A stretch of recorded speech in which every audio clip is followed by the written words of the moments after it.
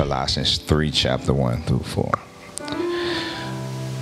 And it reads So if you have been raised with Christ, seek the things above where Christ is, seated at the right hand of God. Set your mind on things above, not earthly things. For you died, and your life is hidden with Christ in God. When Christ, who is your life, appears, then you also would appear with him in glory. Let us pray. Father God, I truly do thank you in advance for what you're about to say, what you're about to do, what you're about to reveal, the increase that you have already ordained in righteousness, that as we study your word, you teach us, Father. Make my pen my tongue a pen of a ready writer, rightly dividing the word of truth that we can receive from you. We can eat from your table. I thank you, Father. In advance, in Jesus' name, we do pray. Let every heart say, Amen. You may be seated in the presence of our Lord and Savior Jesus Christ.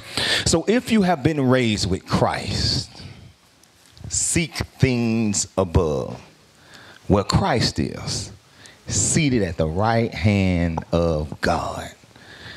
If you have been raised with him, seek things above. That means if you're a Christian, that means if you're saved, seek things above. One thing that I have observed, observed even in my own life and the life of others, especially since pastoring, self-afflicted failures in life come as a result of not thinking right. Now, all trials don't come because of that. Some trials come just because of life. Some of them are the enemy. But most of them that are self-afflicted comes from us not thinking right. Whenever we think wrong, we tend to move into the things of the flesh. Right? When we fail to access the realm of heaven in our mind, watch this, we will fail to bring heaven into earth. I say that again. Whatever we fail to access heaven in our minds, we fail to bring heaven to earth. In other words, if you don't think heavenly, you're no good earthly. Because whenever when, whenever we're not, whenever we don't plant our minds in heaven, there's no way we can operate in our purpose on earth. Right? Because the source of our thought life is ordained to be in heaven. And we're going to learn that today. Why is that? We, we can't think how we used to think because we're now new creatures. We can't think old and we're new. When we think old and we new, then it hinders our new self from manifesting in the earth. And our new self is called to bring heaven to earth. Right? Through our bearing fruit, through our obedience, through our yielding to the word of God. Right? But before we can access heaven in our everyday life, we have to first plant our mind there. You see? Why? Because this world has too much trouble for you to plant your mind here. Let's be honest. Too much trouble here. If you begin to plant your mind here, you're only going to plant your mind in trouble.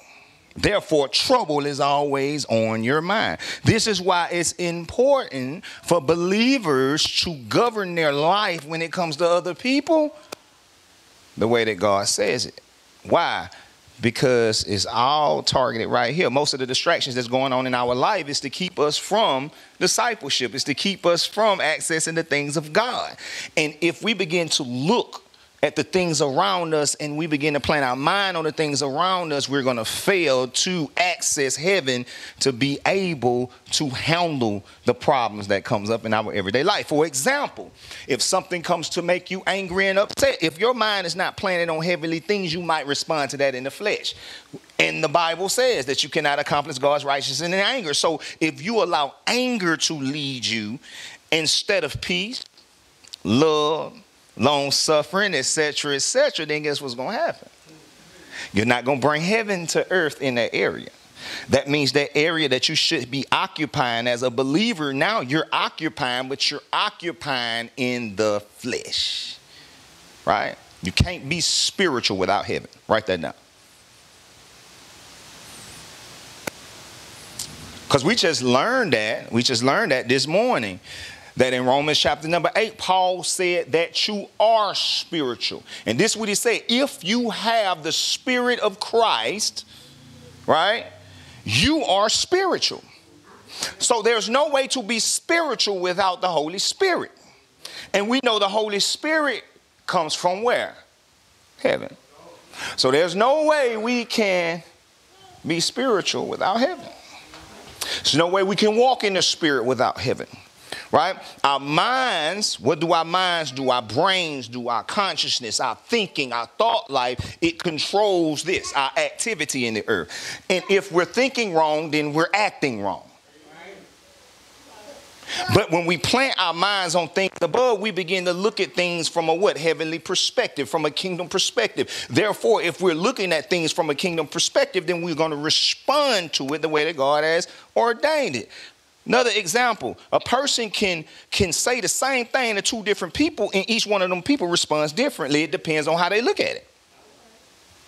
Amen. It depends on what their perspective of it is, and, and people's perspective comes from their thought life and the way that they think.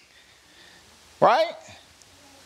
Remember what I said? Oh, I think this was Wednesday night. I said, what, what, what, what law told us to respond to emotions or to express our emotions the way that we express them.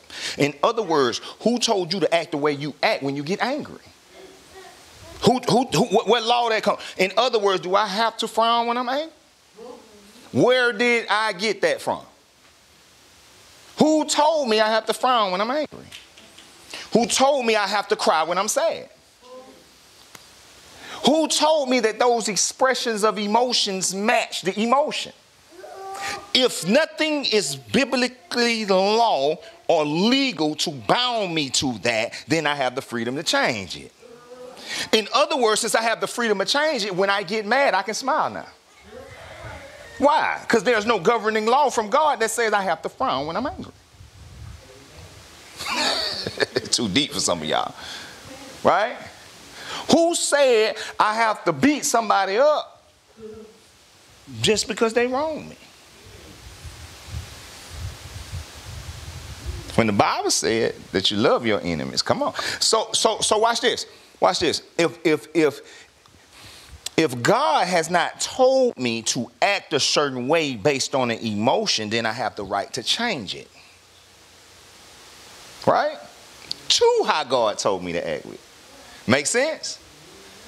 That's the authority we walk in. Why? Because we're not bound as slaves to sin.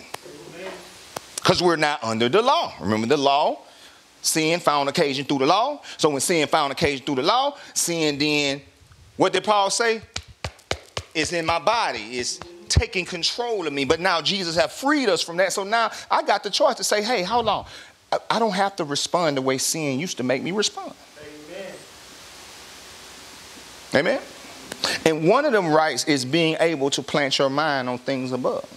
Let's look at verse 1.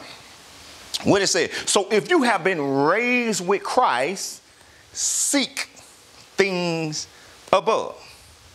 Right? Why do we have to seek everything above? Why do God wants us to seek things above? Why, why is that something of importance to the believer? Right? Because everything below is perverted. The things that culture itself is perverted. it's against God, it's antichrist. The things of this world, if you plant your mind on the things of this world, it will slowly draw you away from the things of the kingdom. Amen. You will find yourself the things of the kingdom not being so important because the things that culture exalts will be of importance to you and not the things of the kingdom. Why? Because your mind is there. If you plant your mind on things down here, you're going to be wavered in every doctrine that appears that's not like God. Look at what we're fighting over in our communities. We have Jews against Greeks. We have women against men. Culture, look what culture is doing.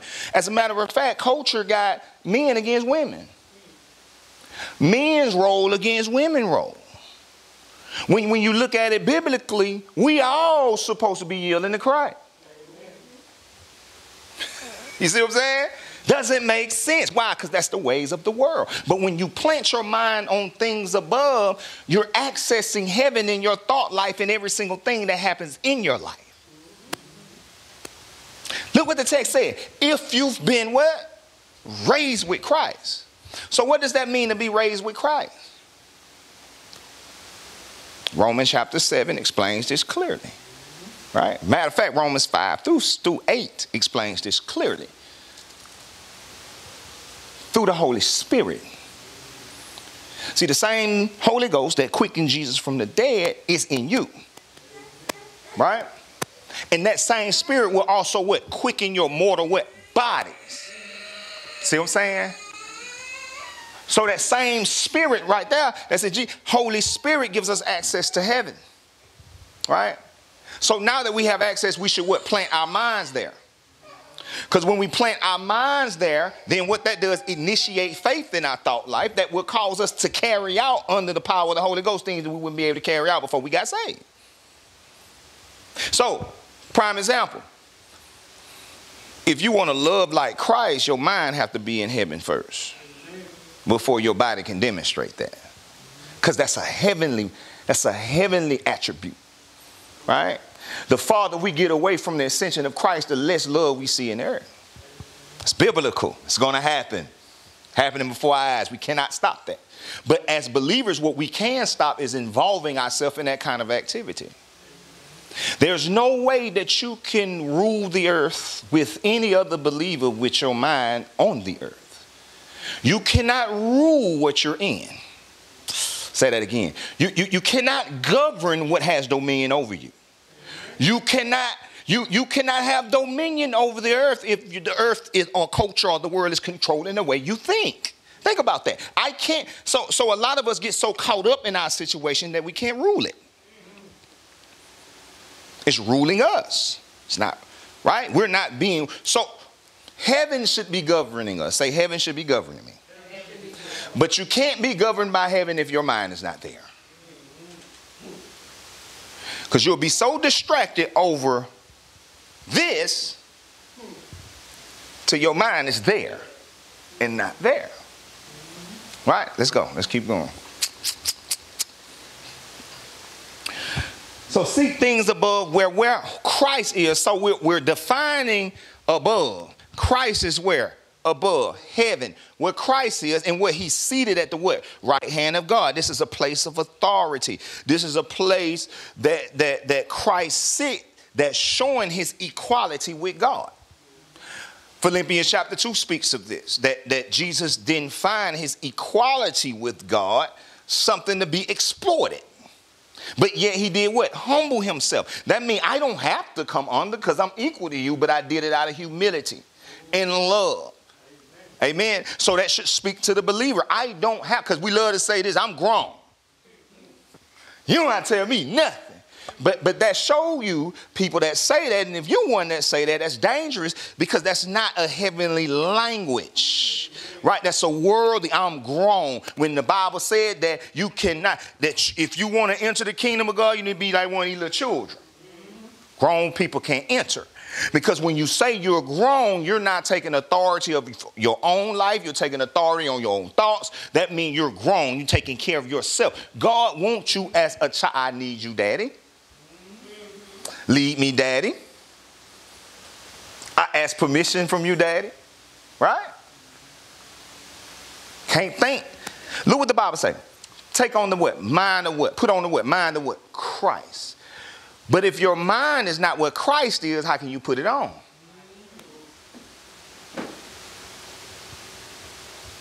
And we wonder why there's so much turmoil in our life and there's so much self affliction because sometimes God will answer our prayers and because our, we're not thinking like heaven, we overlook. We overlook the blessings of God and continue to look at the things of the world and we don't properly steward what God has given us. So we keep praying for what God has already given instead of praying for stewardship. You cannot steward from heaven if your mind isn't there. Right? So look at this. Set your mind on things above. That word set means to plant and don't move. Amen? If I set a chair right here, I've planted it there, and it's not going to move unless I pick it up and move. Or someone else. It's not going to move itself. So, so the Bible says, plant your mind on things above. Then it says, not earthly things. So when we, when we, uh, uh, I'm trying to show you the Bible is showing us how to walk this Christian life out, and it first start in your thinking. The Bible said that, behold, I will give you a new heart. I will take away your old stone, stony hearts as flesh. I will give you a new spirit. I put my spirit in you. And I will cause you to obey my statutes. He never said your mind, though. You got to do that. You have to renew your mind. It's amazing how we want a new life without a new mind. right? Don't work like that. Your if you have stinky thinking, you're going to have a stinky life. It starts in our thought process. So when we arise in the morning, we should rise, rise in heaven. Because that's where our mind is. That's where we're seated at. That's where our position is. Right? We're seated with Christ. We're co-heirs with Christ. See, this is a place of faith. See, see, faith says I'm there, even my body ain't there yet. Faith makes it not make sense.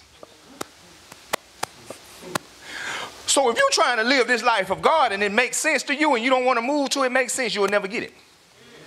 Because that, if that's the case, faith wouldn't be needed. Because you can use your five senses to obtain understanding. Faith say, I believe beyond my understanding. This is why so many people fall away from the faith because they was never in the faith because they're not believing by faith. Because if you believe by faith, you wouldn't try to understand everything about God. You can't understand everything about God. If you could understand everything about God, He would not be God. If you knew everything there is to know about God, that means that He would not be God. It's about faith. Now, this planting your mind on things above sound real crazy apart from faith, because how can I get to heaven? Yet alone my thought life. Let's keep reading. Watch this.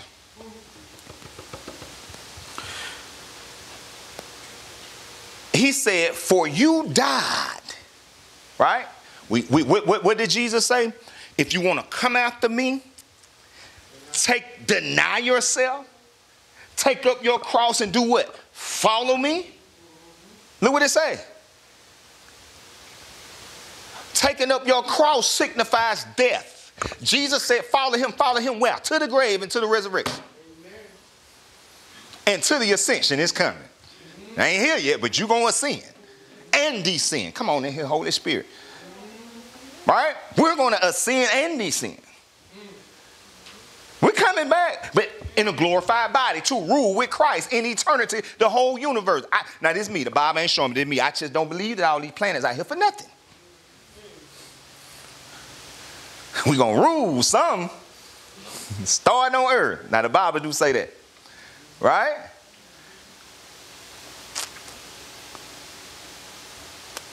Say you died and your life is hidden with Christ in God. Look at that. So your very life is hidden where?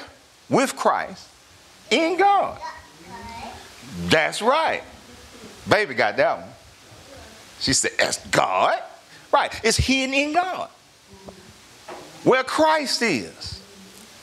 See, your life is not hidden here. Baby. See, that sound foolish. That, I'm here though. I'm right here. No, you're not in faith. You there. In faith, your mind is there. So when the world comes up against you, you, I ain't down here no way. Why you think the Bible say does a, does a soldier involve themselves in civilian matters? Our matters are not civilian; they're of heaven. We're governed by heaven, right? We think along the lines of heaven. That's what makes us ambassadors. I'm trying to help you with something. Let's look at this from an earthly realm. Okay, an ambassador don't stay here. An ambassador stays in a country that he's not from. He lives in an embassy. And that embassy is governed by the rules of the country it comes from. That's why if you're in a foreign country and you're in trouble, they tell you to get to the where? Embassy. Because the embassy is governed by a whole different type of law than the country that they're from. That's why we're in this world, but we're not what? Come on, we get it. Why? Because we're ambassadors of Christ. I have a friend of mine who calls the church building heaven's embassy. Because in a way it is. Right? That's why this church is called Ambassadors Assembly, because we are ambassadors that assemble together for discipleship. To learn about Christ, to exercise our gifts until we all come into the unity of the what? Faith. Right? See, we're, we're talking about government mandates here. It's, it's things that you have nothing to do with that God has ordained, you just access by faith. So we're ambassadors, and that ambassador, it, it, it, it, it, governs itself according to the will of the country that it, it's from. So the ambassador of the United States to China lives in an embassy in China if China allows it. And this ambassador speaks on behalf of the United States of America as well as ambassadors of other countries. I turn you to some, you could go look at it on TV right before, right after Russia in, invaded Ukraine, they tried to come to the table and negotiate. But notice who you didn't see at that table. You didn't see the president of Ukraine, you didn't see Putin, nor did you see our president. But you see ambassadors or representatives sitting at the tables negotiating on the behalf of the country they come from. And watch this. They couldn't say, they can't say anything that the country that they come from didn't tell them to say. It's illegal. So how do we apply that here? Think about it. If our ambassador, the United States ambassador, is in another country, but their minds, their understanding, and the laws that's governing them turns into the laws and the thinking of the country they're in and not the one they come from. Can they really represent United States like that? If they have no, if the ambassador of the United States have no communication with this country, aka prayer for the believer, no communication. If they hear nothing, what can they really say? If they're governing themselves by the laws of the country they come from, they're illegal. Why? Because they're not there as their citizens. You're still a United States citizen. You're that rep. So what, how does this look for the believer? I'm gonna tell you. We're not from this world. We're in this world. The Bible calls us ambassadors of Christ. That means we're in a country that we're not from. And watch this we still have to govern ourselves according out of respect, but our laws, our rules, our mandate, our purpose for that ambassador, the source is here. So for you as an ambassador, watch this. The way you think, the way you act, the way you conduct yourself comes, your culture comes from the citizenship that you have in the country you come from. So if you're here, you're here for a purpose. And when you speak, you're speaking as a representative of heaven. Therefore, you speak the will of God where? In the earth from heaven, in that country, but from your country. See how they go? So, this is why we plant our mind on things above, not on things in the earth, because we come from there and we represent there. See that? Watch, let's, let's, let's, let's look at this. For you died, and your life is hidden with Christ in God. When Christ, who is your life, appears, then you also will appear with him in glory. See that? So, so now you died. There, there's there, there when you died, your life is hidden with Christ in God. Why? Because the old you died. The old you was in bondage. Look what Romans chapter 7 says. And it used an illustration of marriage. As long as that man is alive, that wife is bound to that man. Now, when that man dies, she's no longer married to that man. She can go to another. Same way. Once, once you died, you are no longer bound to that woman, aka law. You died. That, that law no longer governs you. you. You're being broken free. It's like a woman whose husband died. Now she's no longer bound to that man. She can now go choose somebody else. So it's the same thing. You're no longer bound because you're dead. Now, when you raise yourself or when you were risen in Christ, now you're no longer bound to that law. Now you're in Christ. Y'all see that? It's legal now. All these are legal terminologies. Look at this. So, number five, say, therefore, put to death what belongs to your earthly nature. Now, that makes sense because I'm going to show you how to walk in freedom. This is, again, this isn't work based. This is something that happened, and Paul is showing you what happened. You died, you're hidden in Christ. Now you can put to death the things that belong to your old self. That's no longer yours no more. Right? If, if you was in the street and, and you you dipped and dabbed in things and you know your life wasn't okay, once you're saved, you got you got the ability to put the death all that because it don't no longer belongs to the new you. It belongs to the old you, and the old you is dead. See, look at the authority in the text right here, man. This is authoritative. He, he says, therefore, put to death what belongs to your earthly nature. At one time, you couldn't put nothing to death. Now you can put to death. That's not work based, that's faith based. Every morning you wake up, you I'm dead and I'm alive in Christ. The old me is dead, the new me is alive in Christ. That's faith. But a lot of times we want to bring work based to church and we realize work based don't work because you've been doing it for 30 years, it's nothing has changed. Where's your faith? Faith said this is true. So when faith says this is true, you govern your mind according to that, your body can follow. Right? So now you could put to death what belongs to our earthly nature, which is sexual immorality, impurity, lust, evil desire, and greed, which is idolatry. Because of these, God's wrath is coming upon the disobedient. He said, You once walked in these things when you were living in them. Notice the past tense. At once you walk. This is why we need to stop telling believers they are. You're not a liar. You used to be. You're not a fornicator. You used to be. You're not a trickster. You used to be.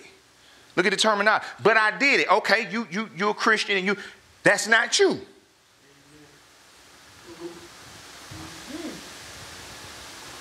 That's not your identity. Yeah, you did it, but that's not your identity. When you really receive that and stop looking at what you're doing and start looking at who you are, then you'll start doing who you are. Amen. That's the issue. We're so bound over sin to that's all we talk about in the church. What about I'm the righteousness of God in Christ Jesus? Why my focus got to be who I was? Come on in here, church. The Bible saying put the put the death deeds of your old self. So why my old self got to be the subject matter every time I come into the temple?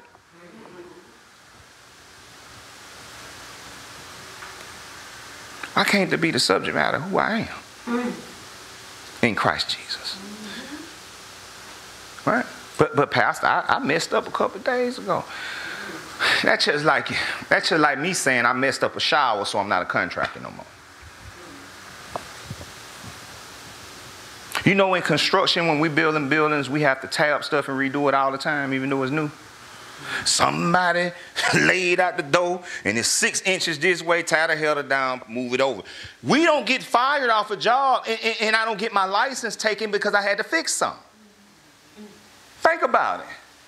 So why is it every time we making a mistake or we make a mistake, we tend to act like, well, our license, we can't build no more. No, it, it don't work like that. You are who principle says you are when you receive Jesus Christ. Point blank, period. And when we start living like that, things will get better for us. Come on, let's finish this out. Verse 7 And you once walked according, walked in these things when you were living in them, but now put away all the following anger, wrath, malice, slander, and filthy language from your mouth. Do not lie to one another, since you have put off the old self with its practices and put on the new self. Look at, look at the authority right there. He didn't say do, he say put on. You know, we've been dealing with this do and present, right? This do and offer. Now look at look how the scripture telling you. It say now put away. Because you have put on. You put on. You put away the old, now you put on. That's a place of authority. Now you have the ability to look, look what the Bible say: cast all your cares, lay aside every weight. That's authority. Right? Look what the Bible telling you. You are being renewed in the knowledge according to the image of your creator. So what he say? He say, put away all this. Do not lie to one another. And the reason you shouldn't lie to one another because you put you taking off your old self with its practices and have put on the new self. And this is how that looks. You are being renewed in the knowledge according to the image of your creator. So look what the Bible says about spiritual warfare. Our weapons of warfare not carnal, mighty through God for the pulling down of stronghold, casting down every what? Imagination, mind games, imagination, and every high thing that do what? Acknowledge itself against the what? Knowledge of Christ. This is the place of discipleship. So the enemy come to distract you from discipleship, from the knowledge of Christ. This is what spiritual warfare. That's why we pull down these strongholds. And look what he say: you are being renewed in the knowledge according to the image of your creator. In Christ, there is no Greek and Jew, circumcision or uncircumcision, barbarian, all this slave and free. And I want to close right there. That right there should bring correction to us. Why? Because we're living in an age where everything, eh, religions are, are it's division in religion, division between men and women, divisions against races. But right here it says in Christ there is no Jew, no Greek, no male, no female. There's an external equality that comes from your heaven being planted, your mind being planted in heaven. See, we're about, we don't govern ourselves like the world. My mind is there. Therefore, there's no Jew or no. Somebody say, well, what should we say about? I ain't got nothing to say about nothing that's going on other than there's no Jew, no Gentile in Christ. I don't look at people, oh, that's a Jew. Oh, that's a Gentile. That's a white man. Oh, that's I ain't in all that. Why? Because does a soldier involve himself in civilian matter? My mind is planted on things above. So no matter what culture brings, I'm gonna speak heaven to it. No matter what reveals itself in this world, if your mind is in heaven, you speak heaven to it. You walk by faith and not by sight. Amen. Your eyes are here. Close them. walk by faith. Not literal, you don't want to run into something, but you know what I mean. In other words, blind your eyes to the stuff you see that brings you torment. Amen. Amen. It's that simple. You don't need the oil. You don't need, you know what I'm saying? All the, you need to plant your mind on things above where Christ is, seated at the right hand of the Father. And watch your life be a little better. Amen? How many want peace? Plant your mind on things above. How, how, many want unity in, in your life and, and, and in your friendships and in your relationship? Plant your mind on things above.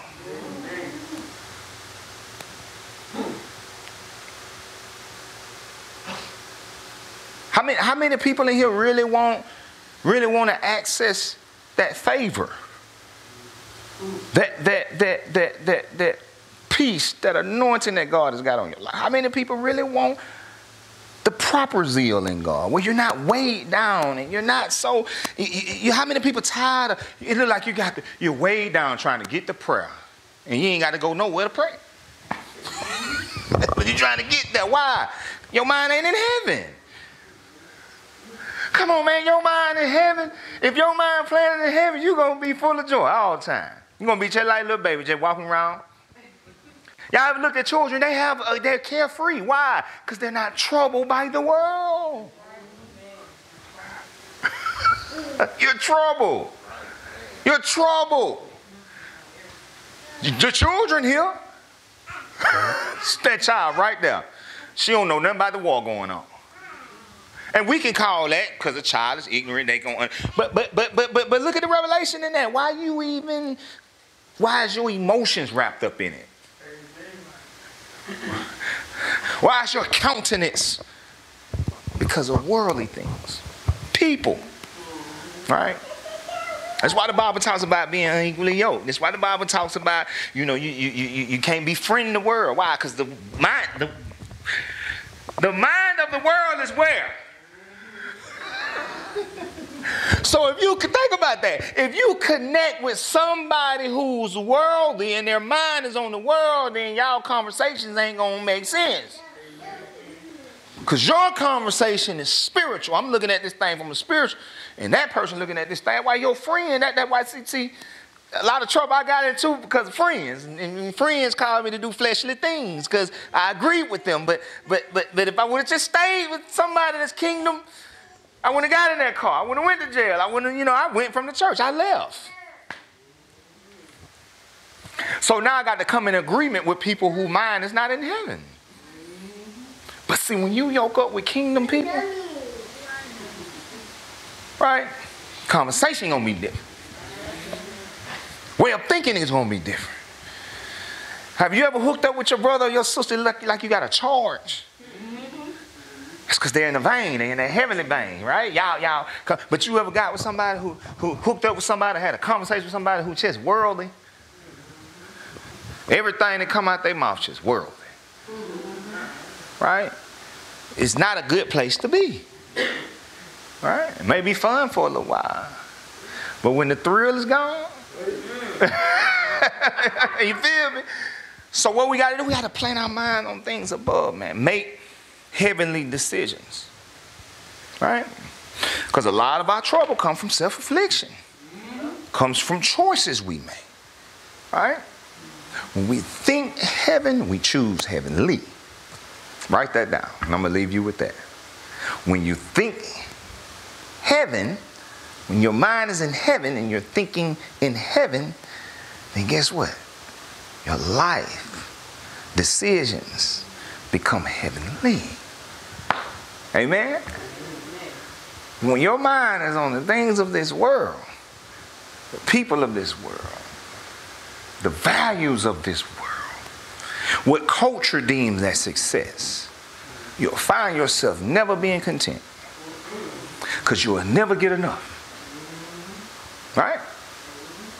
and you'll be distracted in your very life and you, you, you won't walk in your purpose. Amen. So what we going to do? Plan our mind on things above. Amen. So we don't carry out the things of the flesh. Amen. Stand to your feet. Let us pray. We're going to be dismissed. Mm, mm.